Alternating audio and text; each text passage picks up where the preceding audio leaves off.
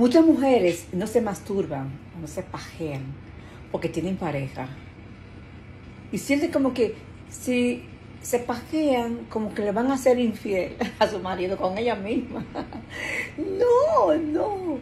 Masturbarse, eh, pajearse uno mismo, eso es bueno porque es tu cuerpo, tú estás disfrutando contigo misma y cuando el marido llegue, tú vas a disfrutar más porque vas a sentir una penetración.